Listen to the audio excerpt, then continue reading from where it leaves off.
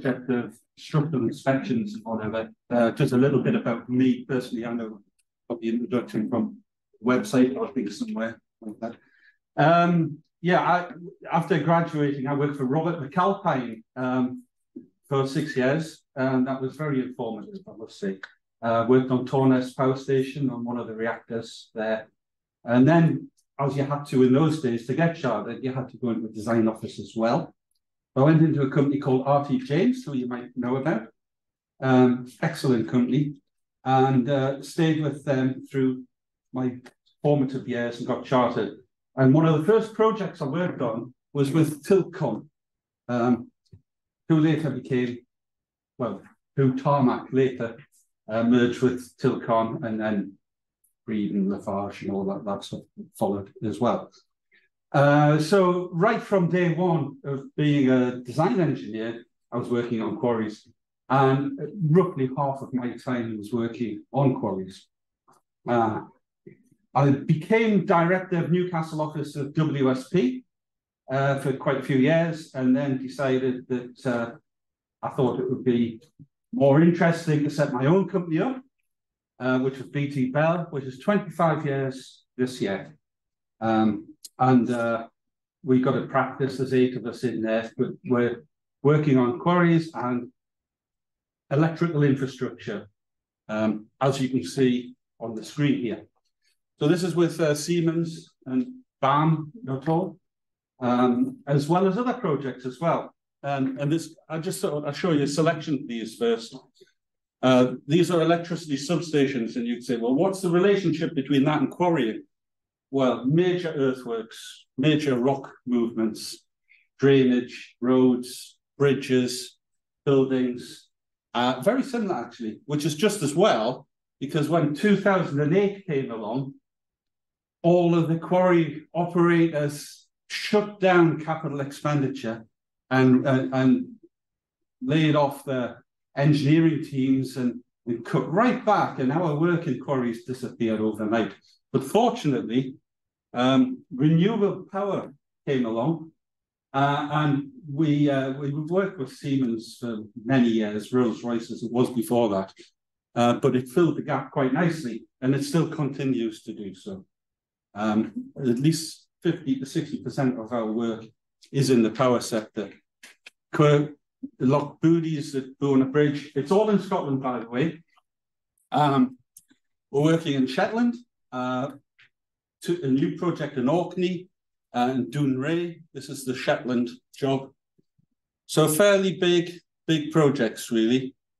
But in the meantime, we still continue to work in quarrying, of course, um, mostly with tarmac, but I have worked with uh, all of the companies, I believe all of the companies, um, maybe some smaller, minor ones I'm not aware of, but uh, worked with Hanson, Breedon, um, RMC, um, Tarmac, Lafarge, Hope, uh, and designed many of the sites.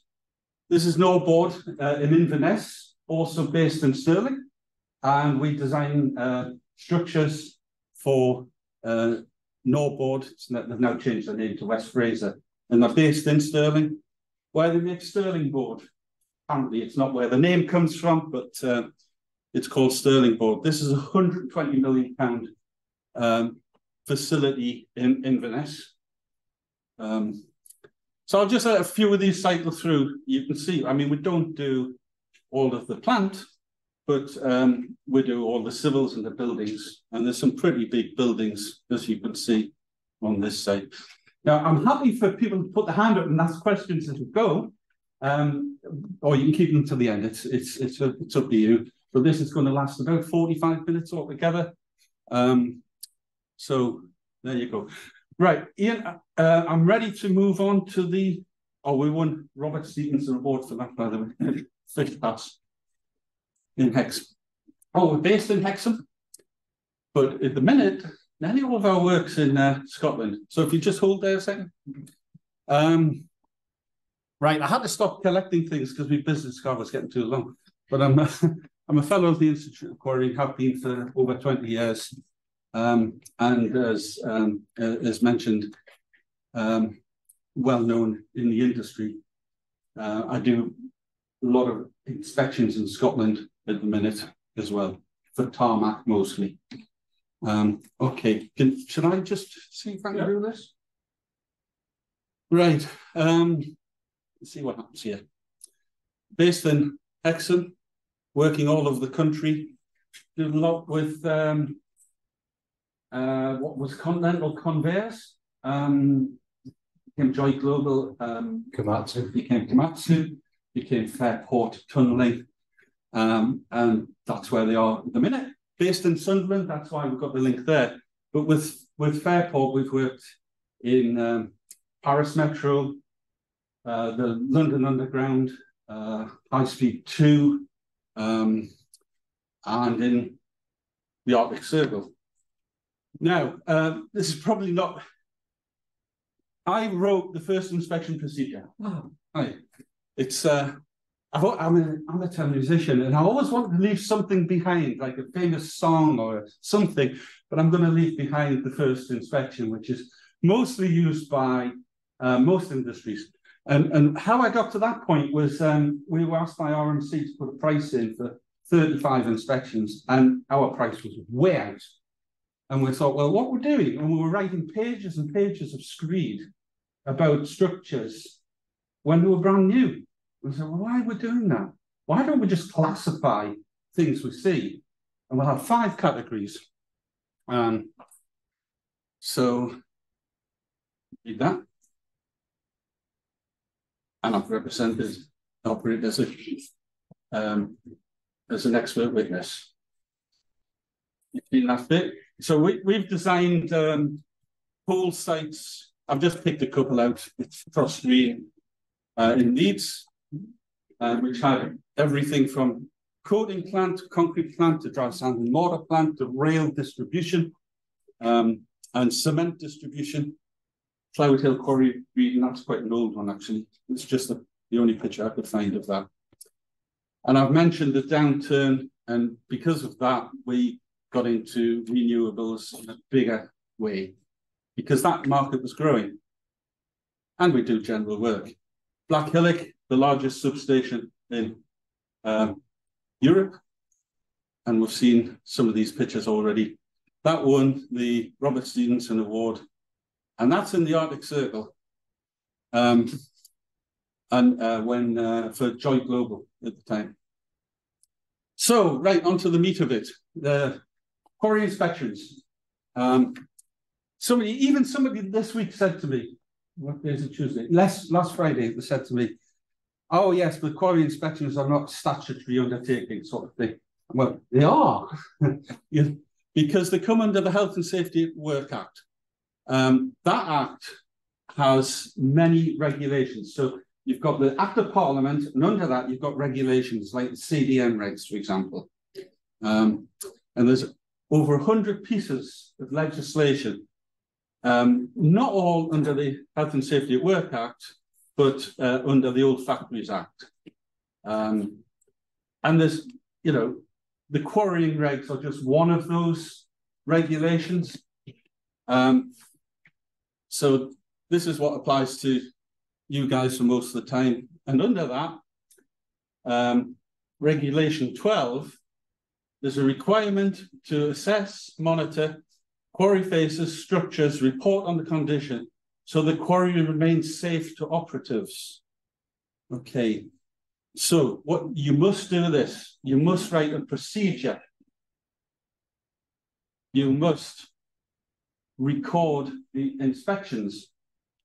Um, had a had a say with RMC. I've tried not to mention too many of these names, but this it doesn't matter for these things. But um, the the HSC walked in, can I see, said, can I see your last inspection? So they pulled it out and it was a primary crusher. They said, have you done the recommended work on, on the primary crusher? And they said they haven't. He said, right, okay, the primary crusher is now quarantined. You can't use it, uh, which meant the whole quarry stopped. It's the only time I've known this to happen. You guys might have come across this before as well. But I got a call at five o'clock that night. Can I get there first thing for um, the next day to help them um, get over this problem? We, we got a we got it solved pretty quickly, and the quarry was opened again. But that's the power of the HSE. You can do this. Uh, these days, they tend to be they're so overworked. You never see them anymore, really. Um, that it must be undertaken by a competent person. What do you think that means? Competent. Two things. Go on. Try. Try and answer it. Qualified. Qualified Experience. and experienced. That's the definition of competent. Okay, you've got to say qualified in what sense? And experienced in what sense? But um, but the judge will make that uh, ruling if there's a fatality on site. He'll say, was the was the inspector competent? And he'll decide if he's competent or not, you know. It must include all the buildings, plant and structures, which is the, the bit that we do. We don't do the quarry faces. Um, and this seminar is about the fixed plant, the buildings, fixed plant and structures. So we're making uh, pretty fast headway through this. I'm going to need a lot of questions at the end, I can see. So under the regulations, there's something called um, the uh, Approved Code of Practice or the ACOP. It's not part of the regulations, it's guidance on how to satisfy the regulations. And this is what you'll see on every quarry manager's desk somewhere, um, this document. So the Approved Code of Practice, second edition in 2013.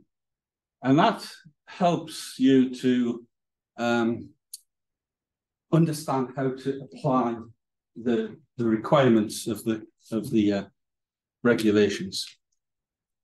So the aim is to ensure that all structures are being maintained in a safe and serviceable condition. I often have run-ins with the um, quarry operator safety man who says, you shouldn't be commenting on safety. And I go, hang on, at every induction you say, if I see something unsafe, I should comment on it. Um, said, well, yes, but don't write it in the report. I said, well, I have to, uh, because that's the whole purpose of these inspections, is to ensure that it's safe and serviceable. And, you know, if there's a handrail missing, or you're saying I shouldn't put it in the report, uh, and you can see the conflict here because he missed it, basically. Oh, somebody missed it, but I will always put it in the report anyway, and then wait for them to complain. um, certain structures may fail um, catastrophically, um, and these are high risk structures. Now, it doesn't doesn't talk about this in the regulations, but it's something that I introduced to Tarmac and Breedon that they should consider special care with structures that might just fall down all of a sudden without any warning.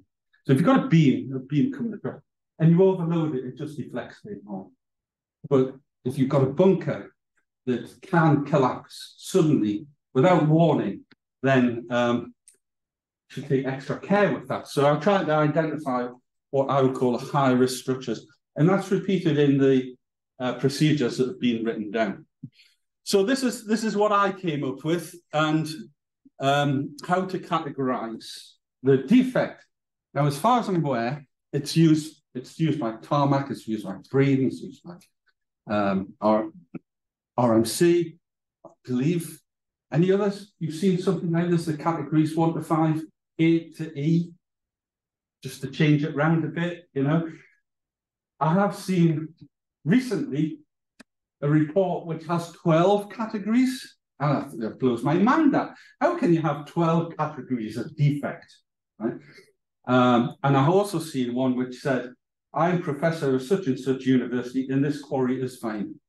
And that's all it said. There's your inspection. I've looked at it. I certify this as fine. So there's no record of the actual inspection. So that doesn't, both of those are a bit useless, really. So, dead easy. Category one, no defects. In other words, pretty much in new condition. Okay, dead easy. Take a picture, call it category one. Category two, there's a little bit of deterioration, which might get worse, but let's just record it. It's not a problem. There's no action associated with category two. Okay, I did a report on Friday. it was nearly all category foods, which was great. For, for the plant, it was Parker plant actually, which was 25 years old, which is quite amazing.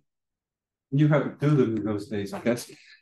Category three, there is defects um, and deterioration is happening. I need some action to put it right, but it's not necessarily urgent. But you need to do something, otherwise it is going to get uh, uh, it's going to get worse and may progress to category four, which is um, there's some a serious problem, uh, and you need to do some fairly urgent work. Um, it's not an immediate danger, but you need to get on with it as quickly as you can. Um, there might be other things like quarantining an area around it and that sort of thing.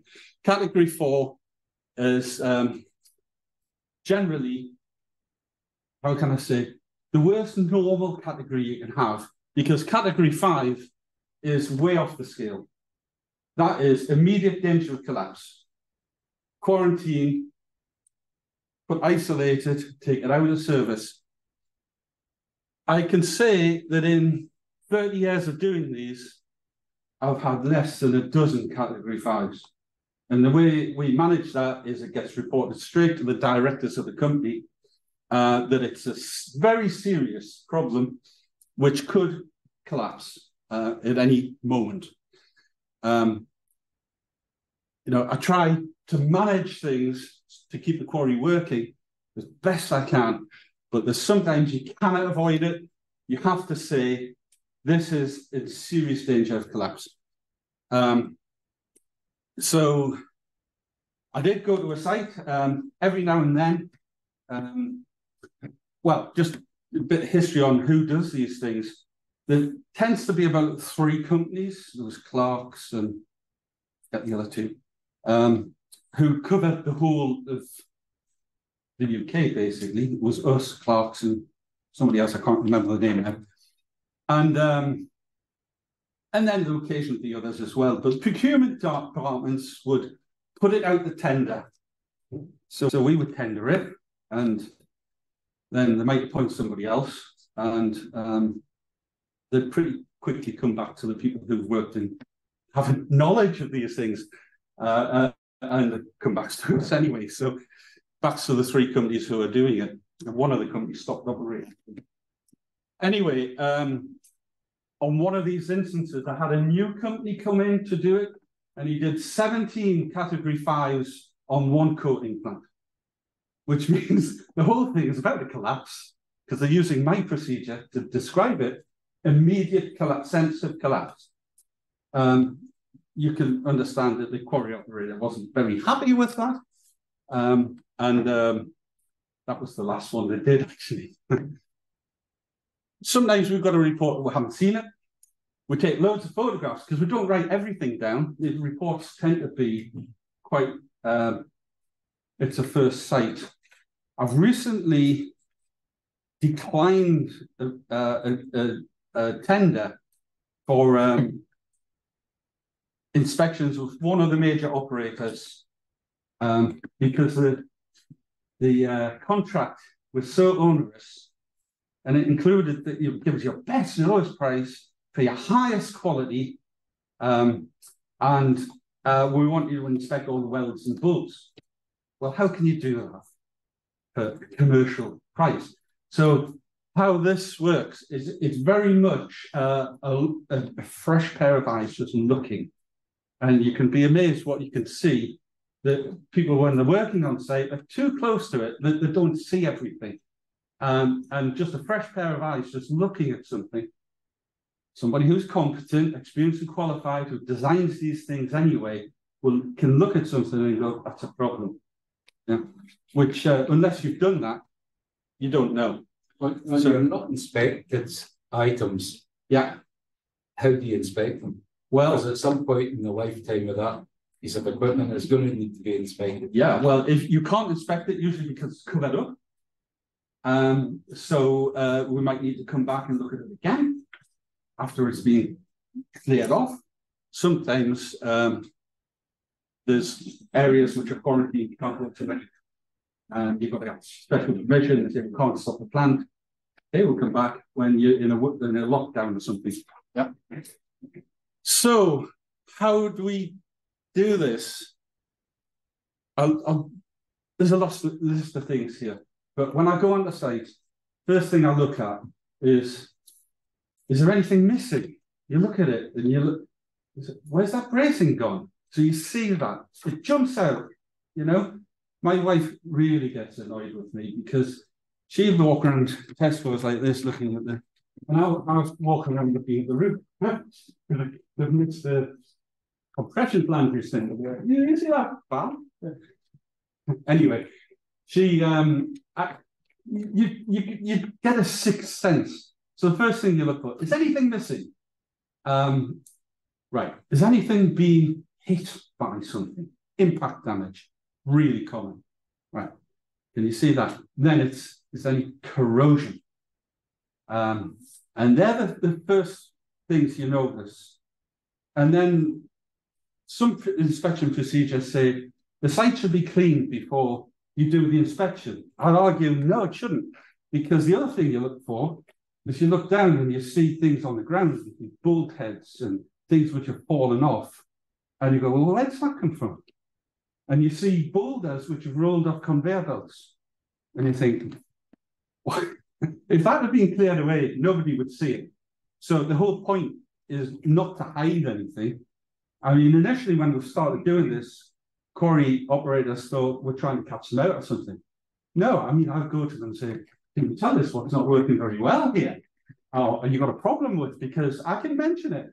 And I can tell you that when it comes down to the production manager of that site, you'll have a pretty hard job to argue against it if I say this needs to be done, because if something goes wrong, his neck's on the line. Yeah. So I try and find out. I ask what what's not what's not quite right on this site, you know. Um, so most people are quite helpful with that. So you've got abrasion, uh, conveyor belts cutting into things, just aggregate rubbing surfaces. You've got corrosion, of course, vehicle impact, missing members, modified structures, fractured welds and sheared bolts. Well, you can see the fractured welds sometimes. You can see missing sheared bolts. You can just see them, yeah. But you can't see ones which are not obvious. They might be on the point of failure, but you cannot see it. You can't check the weld, you know. So you do what you can. Build up material. I've seen roofs. I've seen whole buildings collapse actually with uh, material on the roof missing and damaged handrails and guards. This is where I fall out with uh, the safety. Is any safety people? Ah, right. Do you have the same problem with your inspections where the inspector goes, that, that's not safe? Not come across it, you know. Okay, yeah, you're, you're a good company then. What you want? Oh, right. What you want? Oh, well, a lot of new plants are, are can be unsafe as well. Um, unsafe access walkways and ladders. Um, that doesn't mean if they were designed in the 60s, they wouldn't comply to current access standards. It just means you might fall off them, um, you know, if, the, if there's a risk. You can't go backwards in time to necessarily bring it up to current standards. Well, you can, but it's not, you don't have to. Falling material, uh, edge protection, of course, now, I'm not talking about quarry edge protection, which is really important, um, but uh, I'm talking about vehicles going into driving into primary dumpers and that, that, that sort of thing. Um, cracked concrete and masonry walls tends not to be too much of a problem, really. Uh, integrity of oil storage bunds, you go, well, why is that an issue? You know, I suppose damage to the environment, but uh, um, which would carry a criminal charge as well for pollution. Um, vibration, movement vibration. This, uh, this can cause um, problems with crack welds and bolts coming loose. So some very, very simple um, basic structural principles. This is a hangover from um, a tarmac, for example, and Breedon, have what they call level one, level two, level three report. just a bit of background on what they are. The whole thing is inspect the procedures, right? Do you have this as well? One, two, and three, or no? No, right. So okay. What what what happened was when when we I pointed out to Tarmac, uh, Tilcon at the time, that you should be doing this. We're doing it with Hanson, we're doing it with RMC. Why is Tilcon not doing this? And so they did adopt it, right? And later Tarmac. Right? Um, but they were a bit late to the party, but they said, well, we can't afford a chartered engineer to come on our site and look at these things. We'll train up somebody internally. Fine, are they competent and experienced? It's not for me to say. Right. So they said, right, what we'll do, and they still do this now, we'll have a level one report where the quarry manager walks around the site um, once a year and checks that all the things that were recommended were actually done in by the previous report person. Right, once a year. I'd say it should be once a week. There you go. Um, level two is what we would do, what Malcolm would be familiar with. So the level two report, which is done by a competent person who's not necessarily a chartered engineer. Okay, they've made a definition there. So they they uh, use uh, trained up fitters or whatever because they're cheaper than chartered engineers. And if he spots something calls for level three, which is a chartered engineer has to do that. Okay, so some systems do that.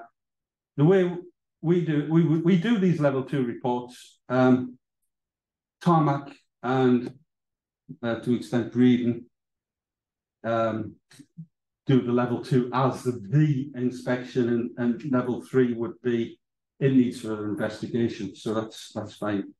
Um, but um, we always send a chartered engineer in because if we're doing work and we get it wrong,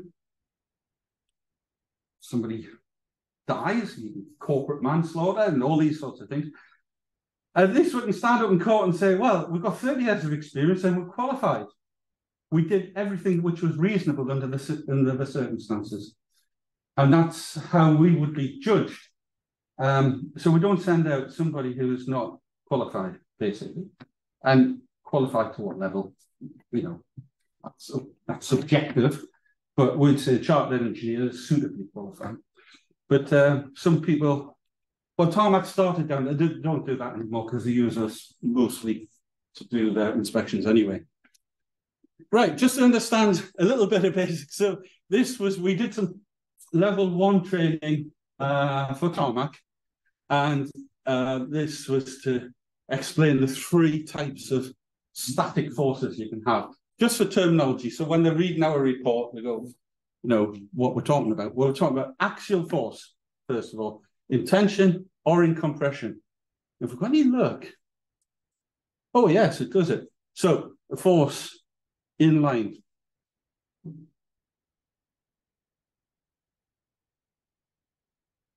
Hey, that's a tension failure. It does work. Buckling, though, the, the force you can take, and remember, in buckling is much, much less than you can take in tension. Same member, maybe. Because it's slender, it can just buckle out of plane. Like that. So it, it could be the tension force is very high, but if this member is long enough, the, the compression force that it can accept is zero. So when I see a, a, a, a gantry and the bottom is being hit by something and I look at it and go, it's bent, but it's in tension, it's not going to fail unless the welds are there. But if I see a compression member that's bent, like the truss leg, I go, that may fail. So then, so we've got we've got compression or tension, that's one force. Bending is the other one. And you can get flexural failure by bending too much or bending and then failing altogether. And you've got shear. So this is how shear feels. Like that. Took us ages to do that. right. So how do you get, what's a typical failure thing? Um, bunkers are the worst because they, the number of bunkers I've investigated which have fallen over. So here we've got a horizontal force, it's a very big load on it, but the wind force coming on here acts in these cross bracings. Now, why have two? Well, one of them will be in tension and carries all the load, and one of them will be in compression, just bends outwards. So you always have two, not unless that that member, that one member, is strong enough to take both tension and compression at the same, not at the same time, but alternately. So it tends to be a, a tube or a bigger section altogether, where these are probably just 80 by 80 angles, and the active tension only. There we go, wind. Right, higher structures, silos. Um, bottom cone can fall out of a silo, usually because the weld at this point gets uh, abraded, it, it's uh, uh, gets worn away, the weld does, and the leg comes up the outside and connects to the cylinder, not to the not to the cone. This makes this a high risk um, uh, structure. So that's what can happen. I'll just give you a little. I'm not naming the name of the company, but you probably know who it is. Um, there was a case where um, the operator was bringing back a bunker with it formed two cones underneath it, two feeders, and they were building a new um, gate and uh, conveyor underneath uh, the bunker, um, it's rectangular this one, uh, to uh, take material off for processing. And they went for their lunch, and they got fish and chips, and they came back, and uh, the whole thing was on the deck when they came back. It was reported to the HSE.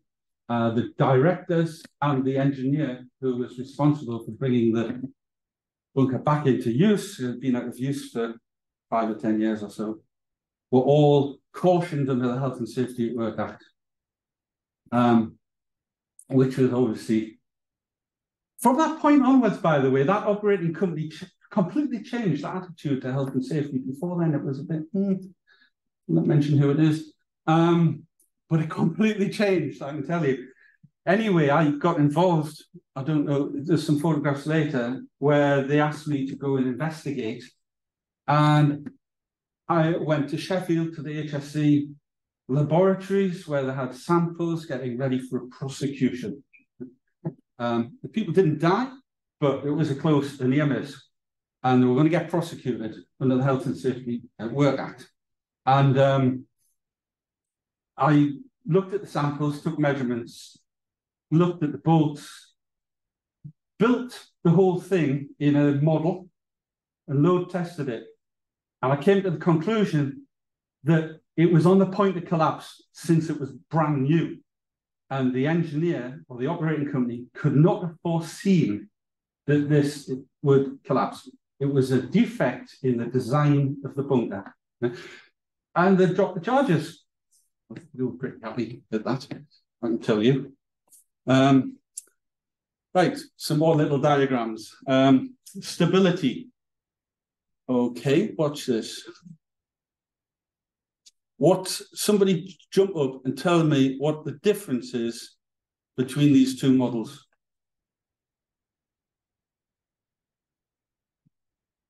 Are you saying you can't tell the difference? This is this is my my uh, two-year-old granddaughter does this all the time with little blocks and things, and she works out what's that, what's going wrong here. Okay, I, I could say you're a bit modest. No, it's the same slope. Both the, well, it might be, or a different shape thing. The difference in here, this is stable because the center of gravity of that is within the base of the subject there.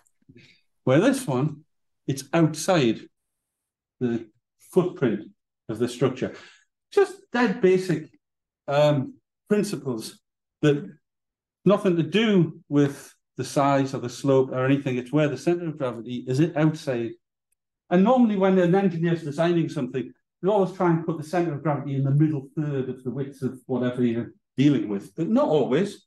Wind turbines, for example, the center of gravity, it, it, it's on its toes.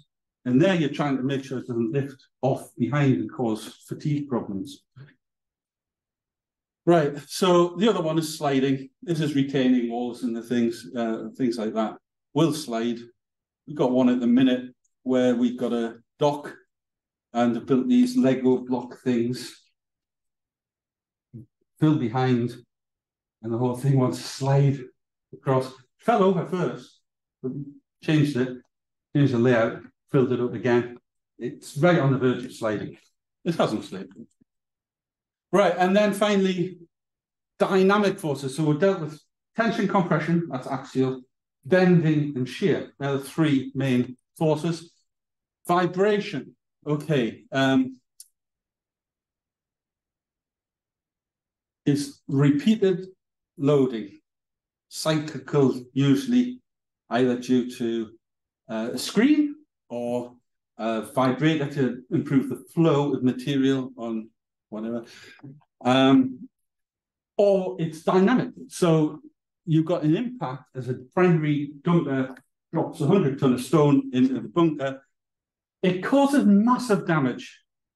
Um, so if you've got cyclical loads, then there will be a natural frequency of the plant and then various modes after that. So think of it like a guitar strings. If you if um, if you put a guitar in a room, it will just the strings will start responding to the noise around it, for example.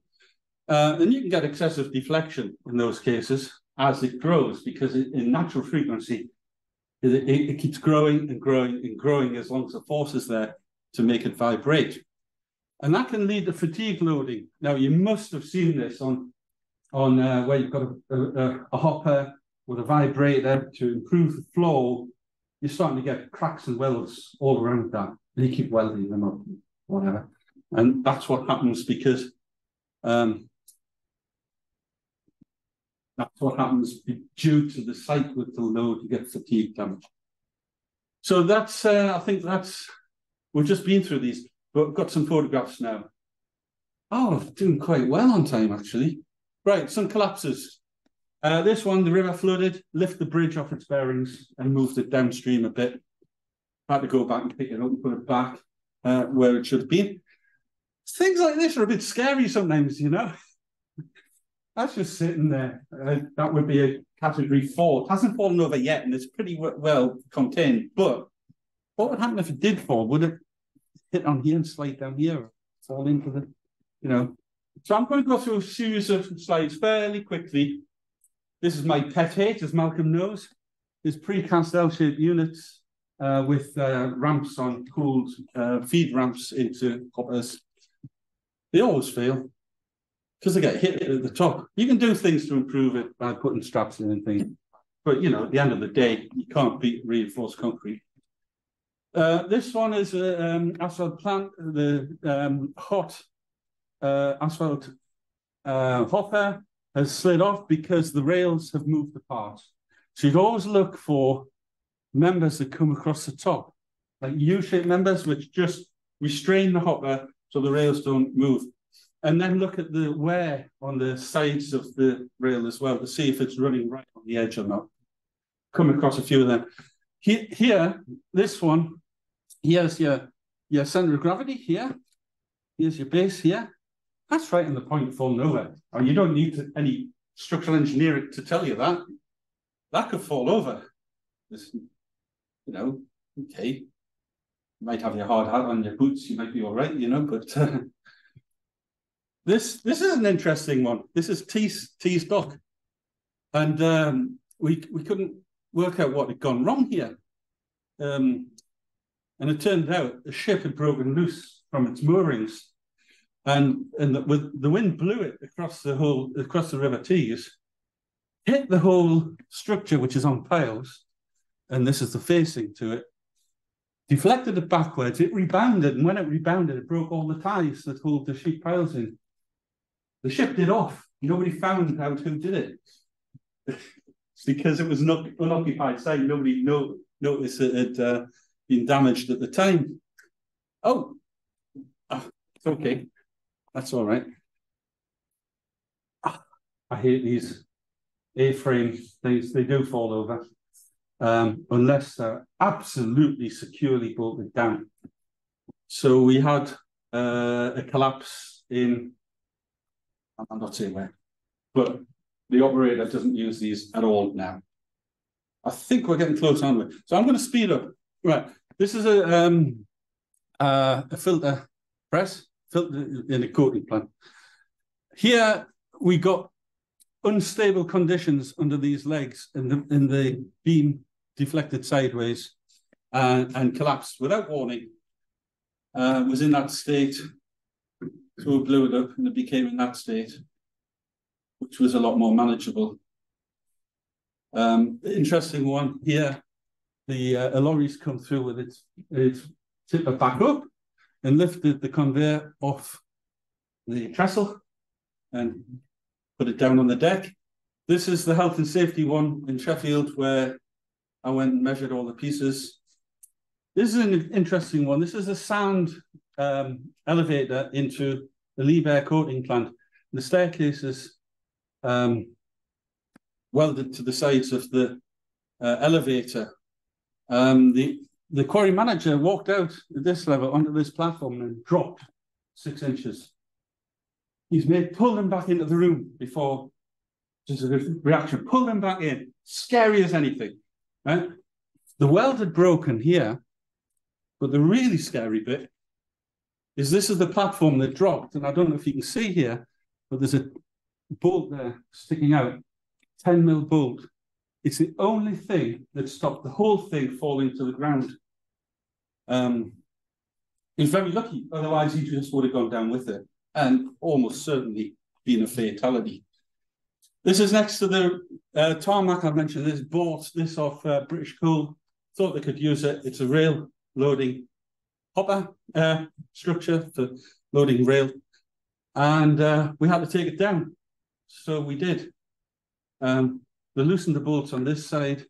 The uh, burned through the columns on the other side, attached the rope to the columns and pulled it and the whole thing just rolled over. And this is the main line just here. So that was quite exciting. All right, I'm just going to flick through these because the time's running on. Um, this is corrosion. You can see some of these are pretty horrific. You know, that's not a tension member. If you see this, those bolts are actually intact. But if you see it where there's a bolt there and it's wide, it's the bolt has failed. 100 tons on this jetty. When the tide goes out, you can see the piles are non-existent. Uh, that's now condemned um, and out of operation. Lots of um, corrosion here. I'll just flick through walkways. Um, all these members. Look at that one. Um, you know, you wouldn't want to be walking on that, would you really? not so worried about these ones where there's a hole in a hopper like this because it just means you lose material. That member there is not continuous through on that walkway. That could collapse at any time. Um, this is really dangerous. When you get corrosion in beams, it's always the bottom of the web that goes. Um, that's a Cat 5, and that's a Cat 5. Uh, this is corrosion of the reinforcement. It's your crumbly concrete, except it's not. It's just rust. It's the reinforcement. Um, holes in the steel. This is a. This was just two weeks ago. This one. You think that looks all right, and then I happened to go up walkway, and I turned back and looked at this and thought something here this bolt is pulling upwards. And it turned out that when the, the dumper was coming in, it would hit this plate, the whole bunker would lift up. It would pull these bolts. There was no bolts along this edge here at all. And then it would drop down, shearing these bolts and and uh, distorting the whole thing. So that that was potentially Cat 5. We told them to isolate it and um, take take the hopper off, basically. Tension, not a problem. More corrosion. Uh, impact damage. Hmm. Impact damage looks horrible. It's probably all right. Compression member, not so all right. How this works at all, I don't know. It's been hit so many times. Surprising that the whole thing hasn't come down. Uh, impact damage deliberately to move, get the stuff moving. That guy lost his job, by the way. Um, and there was potential for this whole bunker to come down. Bracings which are not continuous, um, as you see here. Uh, bracings cut out, so it's gone. Um, can't see what that one is. Modified structures, probably all right, but um, lots of rusty bolts and welds. And I'm just looking for it. There's a nice one coming up, and then I'll stop. Um, that's a bolt. That's how it can deteriorate, and you can't even see it. The bolt head is still stuck there. Loads of missing bolts. Oh, that's scary. There's a health and safety man. How could you walk past that every day and not see it? Yeah. Um, impact damage. Bit of a rusty, uh, rotten timber walkway there. Oh, that one. You, you, you bang your head, you can't get past it. Oh, look at this. Now, this one is all of these members here corroded and not supported. It's a fall through potential. And oh, missing, missing walkway. Somebody fell through something like that not so long ago. And they were working on it. They'd lifted it up themselves and then fell through it. And I think that walkway, you, you can say it's overloaded. Uh, falling material. That one, all these cobbles, you see the size of them, come running down the conveyor belt and then drop off. Um, no protection to the end of this. So the machine gets his gears wrong and he's into the hopper. That's this is the scariest thing I've seen. Not this particular one, um, but a long time ago, where the whole structure was looking like it was going to fall into the primary crusher. Um, these are the, the, the silos that need special attention, and there we can see that one does have support on the cone, unlike the others. This one is classified by time, Tarmac as high risk, and I say it's not, because you can see all the structure on this one. Um, you can see there, there's a complete separation in that. Oil buns, okay, I'll not get too worried about them. Vibration failures, that is completely sheared there, that beam, and it's in the primary. Um, and then build up the materials. Um, oh, sorry, that's the last slide. I thought that build up materials quite useful for the wildlife. So, any questions? Um, I'm conscious that I've probably overrun five minutes. Okay, no problem. So, all right. Yeah. At what age do you start carrying out inspections on structures? Day one. A one, Yeah. and that, what frequencies should you have a structure? Well, this again, right? I invented the one, two, three, four, five, which has been adopted. I also thought, how often should we do this? And I just thought five years is too long, one year is too frequent, two years is still probably too frequent. And so I said three years. Now everybody's adopted, the whole industry has adopted three years. And that was just my idea, because I basically I was the first person, our first people doing this sort of thing. So I said three years. Now people think it's an absolute desperate requirement that, it, that they'll get told off if it's not done on the, the exact three year date. And I go, no, chill out, you know. Sometimes I might say one year if it's really bad and I want to have a closer look at it. But they say, well, that's what the level one's for. No, it's not really, you know. I've seen things which have got past two level two inspections. Um, there's one in Scotland here. I don't know if anybody remembers me from that where it was the same as the filter, bag filter that collapsed um, in Yorkshire, that one. And I looked at it and I stood looking at it for half an hour before, before I could work out what was going wrong here.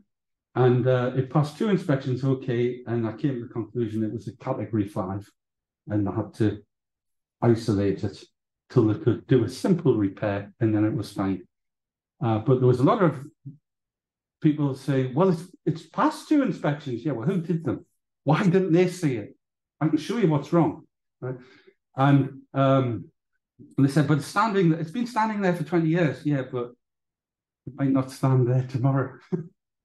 you know, so you you, you um you've got to make a judgment on these things. Three years. Any more? Yeah, yeah, defect category five, Yeah. that, that would come under RIDDOR, wouldn't it? Mm, it's not a near miss. It's just something where you see it and you go, I don't like this. This, this, we've got to do something. And it's not a, quite a near miss, yes. It could be passed as RIDDOR. That's not for me to decide. Operator should do that. But yes, it could, could be called a near miss because it hasn't happened yet, sort of thing.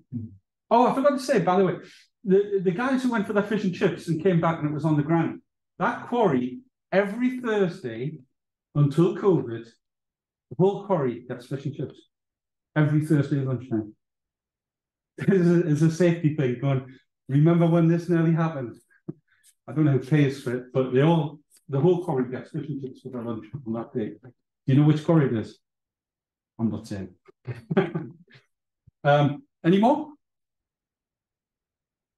Come on, health and safety guys must have a question. Do do you have level? What do you have structural inspections on your quarries? What? Just locally. Just look. Yeah, no, but uh, somebody does it. Then Not everybody does it.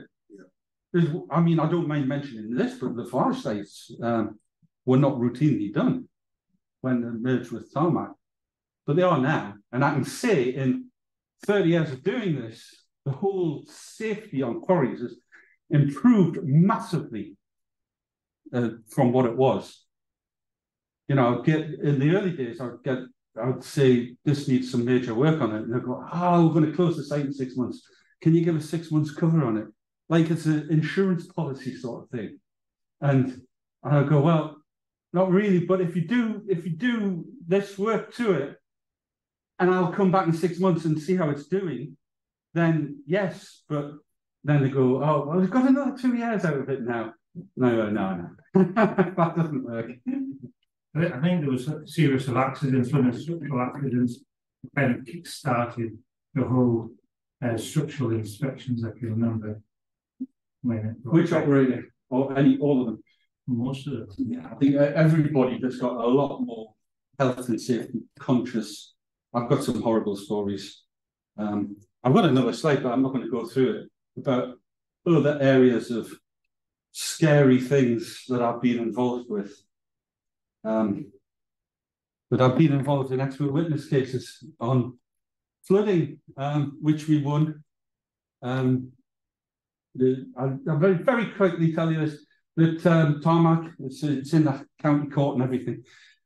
Did a quarry, dug down, built it back up again. It was two meters higher than it should have been. Um, guy built a house for a million pounds in a hole next to the quarry. He um, got flooded as he was building it. He got flooded as he was just completing the build. Then he got flooded again after he occupied it, all within the space of two years. The insurance company paid up for the first two, and then they said, We're not doing that anymore. Somebody is to blame. So they blamed Tarmac. And I got involved.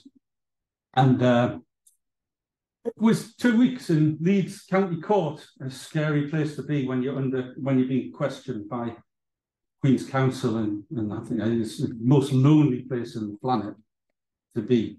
I was I was questioned for a whole day, you know, and it, they're trying to trick you up all the time, you know. Anyway, one of the guys um, who lived near the, the site went to the pub halfway through the court hearing, and uh, they were chatting about it. And this this this other chap says, "Oh, my dad used to own that. He had a he had a cottage there, but it flooded all the time. Um, so we made it a cold stockyard, and we just used it as an office. But when I was a kid, I used to get a canoe and I used to paddle around the buildings, paddling, paddling, and he came in with a photograph and we showed it to the judge. And we said, look, that's before Tarmac did any work. It flooded then. And we won the case. Good. That was one of the things I was going to add on the end. Right, I think uh, I've done an hour now. That's well over. you can catch me separately if you want to. Um, anytime, or yeah, I'll give you a business card if you want. If you want to phone me up about anything. Well, Brian, I'd just like to thank you and a fascinating talk. Um, I think it's something that uh, is of interest to everybody. Um, I haven't seen any pictures where I've seen such structural defects pre- before.